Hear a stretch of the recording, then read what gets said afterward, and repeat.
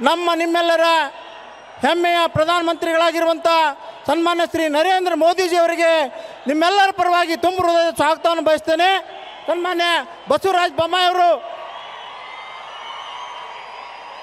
ಕಂಬಳಿಯನ್ನು ಹೊದಿಸುವುದ್ರ ಮುಖಾಂತರ ಸ್ವಾಗತಿಸ್ಬೇಕಂತ ವಿನಂತಿಸ್ಕೊಳ್ತೇನೆ.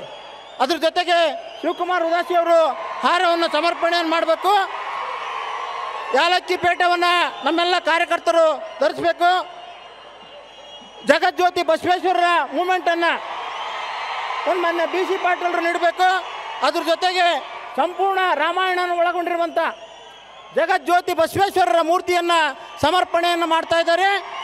ಸಂಪೂರ್ಣ ಹನುಮಾನ್ ಚಾಲೀಸನ್ನು ಒಳಗೊಂಡಿರುವಂಥ ಹನುಮಾನ್ ಚಾಲ, ಚಾಲೀಸನ್ನು ಪಠಿಸುವಂಥ ಪುಸ್ತಕವನ್ನು ಲಿಂಗರಾಜ್ ಪಾಟೀಲರು ಸಮರ್ಪಣೆಯನ್ನು ಮಾಡಬೇಕಂತ ವಿನಂತಿಸ್ಕೊಳ್ತೇನೆ. ಅದ್ರ ಜೊತೆಗೆ ನಮ್ಮ ನಾರಾಯಣಪುರದ ಕೋರಿ ಬಂಕಾಪುರ್ ಅವರು ತಯಾರಿಸಿದಂಥ ರುದ್ರಾಕ್ಷ ಮಾಲೆಯನ್ನು ವಿಶ್ವನಾಯಕ ನರೇಂದ್ರ ಮೋದಿಜಿಯವರಿಗೆ ರುದ್ರಾಕ್ಷ ಮಾಲೆಯನ್ನು ರುದ್ರಾಕ್ಷ ಮಾಲೆಯನ್ನು ಸಮರ್ಪಣೆಯನ್ನು ಮಾಡಬೇಕನ್ನೋಂಥ ವಿನಂತಿಯನ್ನು ನಾನು ಮಾಡ್ತೇನೆ.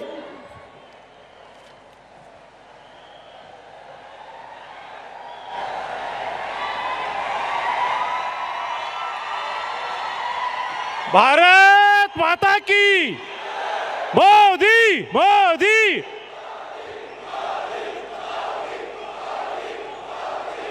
ನರೇಂದ್ರ ಮೋದಿಜಿ ಅವರಿಗೆ!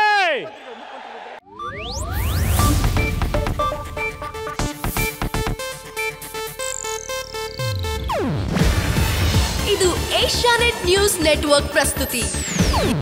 ನೀವು ನೋಡ್ತಿದ್ದೀರಾ ಏಷ್ಯಾ ನೆಟ್ ಸುವರ್ಣ ನ್ಯೂಸ್.